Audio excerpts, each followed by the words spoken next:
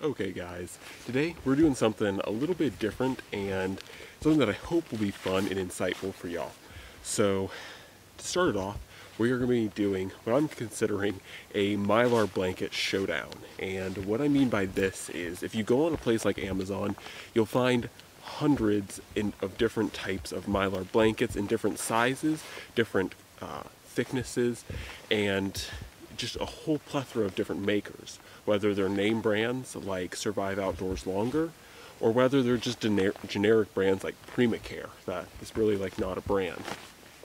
So with all these options, that led me to thinking, you know, what is the difference between them aside from price point? Because there's actually a pretty hefty price point difference, especially in my comparison. And so do these cheaper Mylar blankets hold up well? Do they keep you warm? And are they effective? And so that's what I want to answer today. Okay guys, so took off the jacket and the face mask to help kind of uh, make me a little bit more prone to the outer elements. Okay, so this is the first one we're testing and we're gonna go in chronological order from the least expensive, hopefully this shows up for y'all, but the least expensive to the most, or sorry, the most expensive to the least expensive. And we're starting out with a we're starting out with a Survive Outdoors Longer. And this is the heavy duty emergency blanket. Size, it says it's a five foot by eight foot. So that should be more than enough to cover me quite well. However, there's only one way to truly test that. So let's dig into it. Another nice bonus about these Survive Outdoor Longer shelters is they do have a resealable plastic bag. So for any water collection, it is handy to have its packaging. Um, to me, it says it's thicker than a standard Mylar blanket. To me, it really doesn't look any thicker. But, yeah, so anyways, this is in olive drab and of course Mylar reflective. So let's break this thing out. Now I will say it doesn't necessarily look any thicker, but it does feel thicker. Um, most Mylar blankets feel a lot like a trash bag. This surprisingly doesn't feel like a trash bag, so that's an advantage. Very complicated, but figure something like this works pretty well. You guys can see as I'm standing up, it does a pretty good job. And of course, if I was really cold, trying to get warm, I'd probably sit down. But you can see that uh, it does a pretty effective job at fully covering me. Probably look really stupid as hell, but sometimes in survival, it's not about looking good. It's just about living. And so, yeah. As far as the Mylar goes, I can already feel it starting to kick in and start to uh, reflect the heat back. So it's doing a pretty good job at that. Of course, Mylar blankets aren't some, you know, miracle material they do require you to be emitting heat and for it to be reflecting back. But I would say that this is comfortable, easily as warm as the coat that I was just wearing. In fact, actually probably a little bit warmer because my coat's designed to keep me at an operating temperature, not necessarily just heat me up. This thing's doing a pretty good job at heating me straight up. So if I was colder than I am, because right now I'm about average heat, um, doesn't really need to heat me up too much, but I'm certainly feeling the heat. So I say that this is a win. I like this one a lot. Uh, initial impressions does a great job of covering me, and it does a great job at reflecting. And once again, one of the things that I get from a lot of Mylar blankets that I've tested in the past is kind of this trash bag feel and even sometimes smell. And uh, this one, well, I can't really smell it today.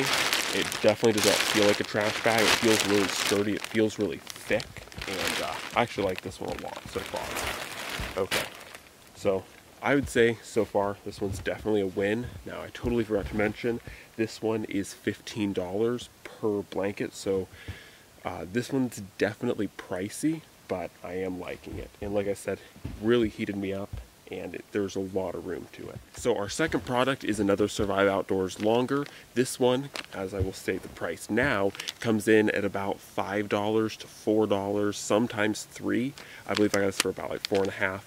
This one, I will say, is my go-to for Mylar blankets. So you'll find it in my personal survival kit. You'll find it in my car. You'll find it uh, in the backpack, really everywhere. This is my go-to for it because the primary reason for this being my go-to is it's just as large as this big uh, mylar blanket we just tested. It's just thinner. And from my experience, these have been my favorite. And it's very hard to find a 5x7 mylar blanket. And these ones are 5x7 feet and they just work really well. Now granted, these are very thin and definitely now that I see the difference, this is substantially thinner, but it is large and it's not so thin that it's see-through because some of these, as I'll test in a little bit, are so thin that you can actually see through them. So anyways, this is not rated necessarily for shelters, but still is a pretty good mylar blanket from my experience, but I want to test it side by side, something like this. So definitely smells like a trash bag now that I can smell. Um, but it does a good job at covering. Once again, it's the same size as that one, if not maybe a little bit smaller. If I actually wrap around correctly, I'll probably do just fine.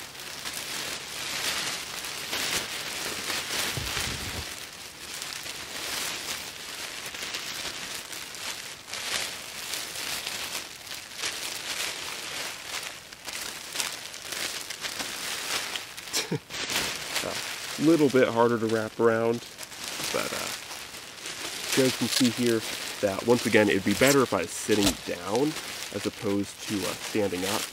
Uh, the other disadvantage with this thinner material is it really likes to stick to itself. So I'm having some issues fully like unraveling it. But once again, I'm feeling a really nice immediate heat. And if you sit with Mylar blankets and you work with them, you know, you sit down with them and you really make sure that you're getting full coverage and not getting too many heat leaks, you'll immediately start feeling a really nice uh, warmth. So I have no, as far as heat goes in full body wrap, I have no complaints with really either of them. They both did a great job. So those are the two kind of brand names, Survive Outdoors Longer. They're both good. Interesting thing, if you like it, this one does have a whole bunch of survival instructions. However, from my experience, it's very hard to actually print on Mylar. So do be warned that this stuff does rub off really easily. So if you're really relying on the survival instructions, it may rub off. Okay, so let's jump into the final few of these Mylar blankets. Now, I said that the original one was $15, the next one is $5, and the next one is at the bottom of this little baggie. Next most expensive one, if I remember correctly, is this grabber space blanket. And this one is also, so this one's about three and a half dollars, if I remember correctly. And it's definitely getting into the smaller, thinner side of the emergency blankets.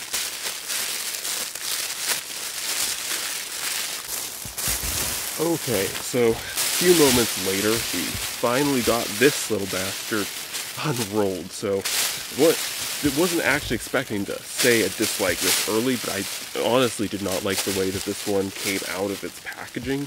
The reason why is it took a very long time to actually get this out in contrast to the rest of these shelters and there's a lot of dexterity to it and my biggest thing with Mylar blankets is if you're already freezing and you don't have fine motor skills, this is going to be a pain in the ass to get open. So really don't like that.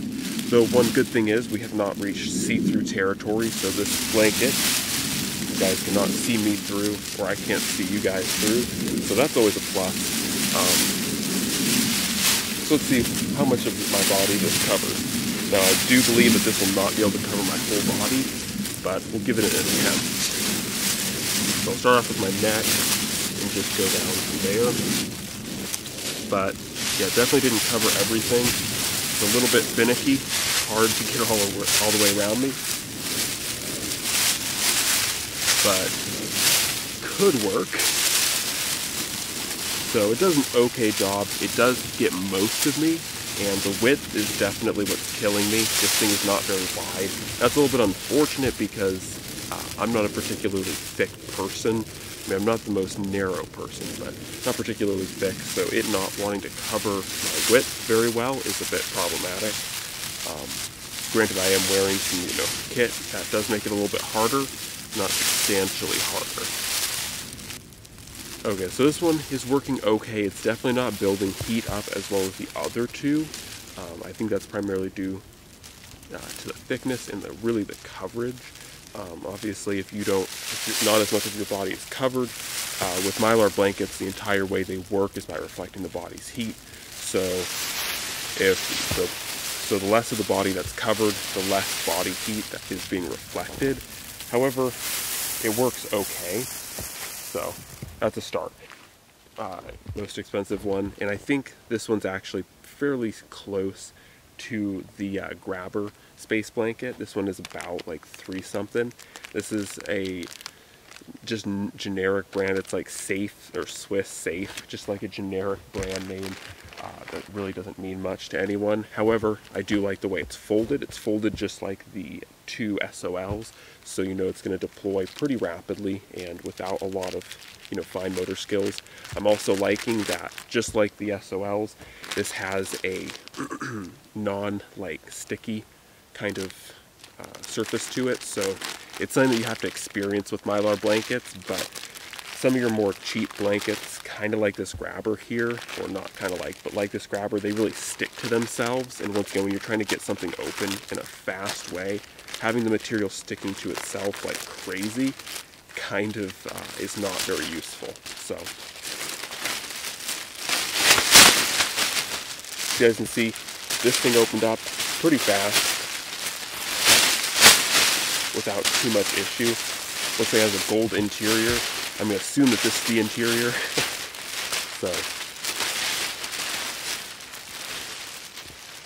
So that's it, long ways. We'll try it this way.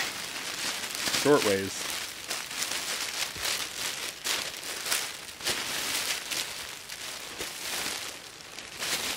So this one, definitely once again running into a wideness issue. Like it can cover your legs pretty well, but uh, it's having some issues covering my body, especially around my shoulders. Like it's not really wanting to stay together that well and cover me. So this one, I'm really not liking for that. I like the actual build of it, and it for what it seems, seems to actually be pretty thick, thicker than I was anticipating. However, the issue is that uh, its width is not really working out here. So having a really difficult time. You guys can see it covers my legs well, but when we get to my hips, it's really struggling. Like it's just barely getting there. Not really.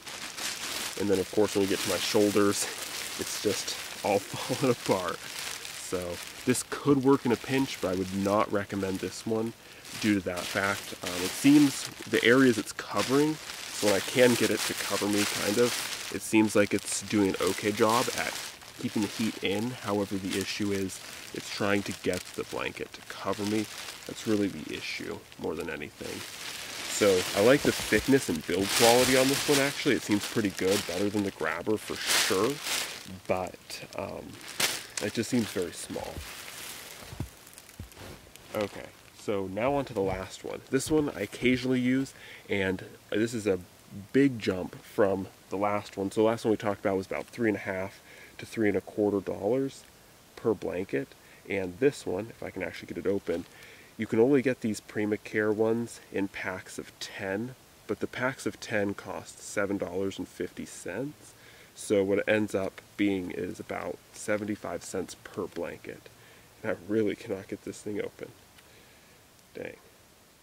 So this is substantially the cheapest uh, survival blanket here by a wide margin. So let's see what it's like. Now I do have a bit of experience with these ones and I'm not super happy with them and they're not my favorite, but I like them in one way.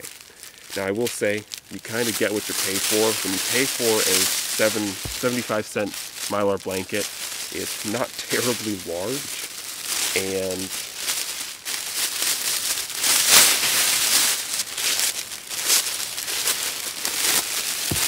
Now in fairness, this one, oh no, it already broke itself.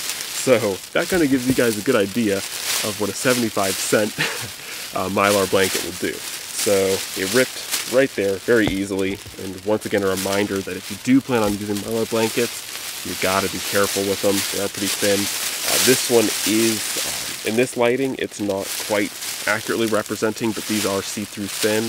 And um, yeah, they're very, very lightweight. Now, I will say it was easier to open this one than the grabber, but uh, yeah, they, they rip very easily. I'll try to cover myself with it.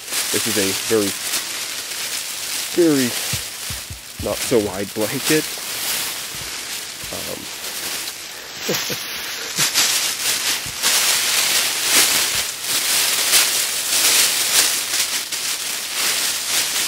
So this one, I'm not even going to try going just width and leaving the length for me. Um, I know it's not going to work that way. So this is basically the coverage you're going to get out of this thing. Now, in fairness, Mylar is Mylar, so um, it does a good job at keeping your core warm so long as you don't rip it, which this blanket is very easy to rip. So if you do have to use something this cheap, be very cautious with it. Um, it is keeping me pretty warm. It's reflecting the heat pretty well. I'm actually starting to get a little bit chilled now that I don't my uh, jacket on. So, and I've stopped moving. I don't have my jacket on, so I can definitely feel the heat of it, and it's nice. So the Mylar itself is doing its job, which is pretty good. I had, I did not have very high hopes for these Primacare blankets because of the fact that they are so thin, but it is still doing a good job. Like I said, I can immediately start feeling the heat. Um, however, I do not recommend these Primacare blankets because of the fact that you guys see how little of my body it covered and how easily they tear. I mean, these things, you just look at them the wrong way and it tears apart. So.